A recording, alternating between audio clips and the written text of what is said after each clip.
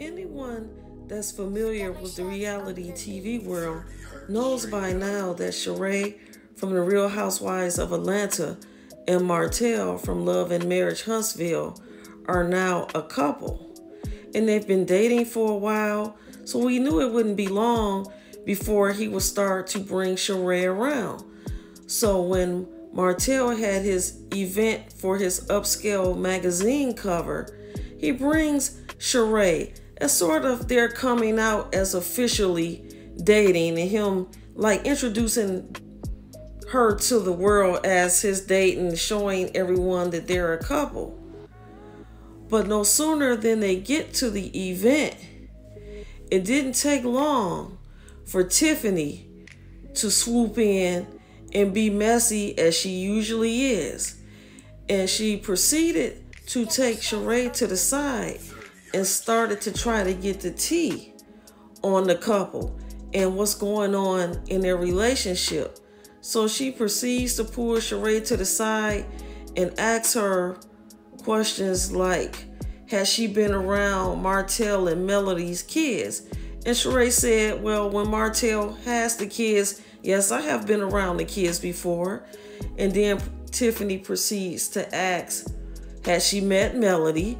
And she was like, yes, I met Melody at a book signing. It was short and casual, but we really don't know each other.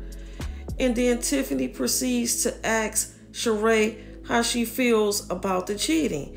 And Sheree did mention that she watched the show, so she was familiar with the situation. She wasn't happy with how it went down. But then Sheree put in a read of her own on Tiffany and said, Well, I watched the show and you're known for cheating also.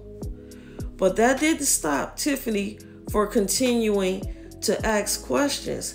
Tiffany then proceeds to ask Sheree if she felt like Martell still had feelings for Melody. And she just reminisced on how at the reunion, how you could tell that Martell still had feelings for Melody. And Carlos King brought that out. And there was a lot of crying and tears in that situation. So Tiffany was just trying to see where Sheree's head was to see how she felt about Sheree as far as if she felt like Sheree had feelings that Martell might still be in love with Melody. And but Sheree handled the situation well. She didn't go off. She could have. We've all familiar with how Sheree could have gone off just from watching the Real Housewives of Atlanta.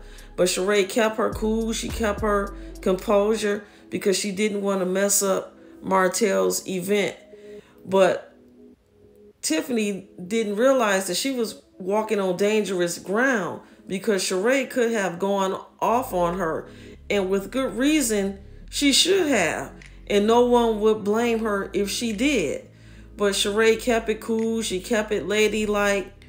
And the evening went on.